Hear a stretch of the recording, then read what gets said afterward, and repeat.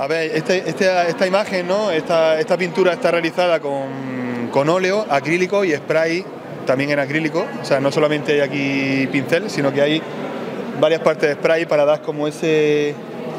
Esa, ese, ¿Cómo era? Caída del sol. Esa caída del sol. Y, el, y, la figura está hecha a un solo trazo. La idea es que la figura, la mujer completa, está hecha una sola línea y está trabajada con óleo. Pero en el fondo pues hay spray y acrílico y ella que vende su parte que, que es muy interesante.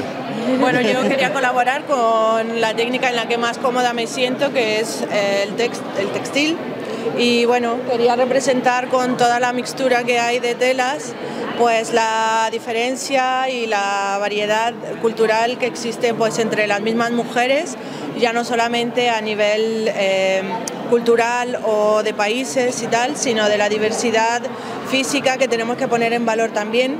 Lo digo porque tengo hijas muy jóvenes y hoy en día estamos sufriendo muchísimo toda esa homogeneidad, ¿no? donde todas tenemos que ir en un mismo prototipo de belleza o en un mismo prototipo de mujer y con esto yo quería pues eso, ¿no? hablar de la belleza que hay en cada una de nosotras sin importar si somos altas, bajas, flacas, gorditas o lo que fuese, que siempre hay una belleza detrás de cada una de nosotras.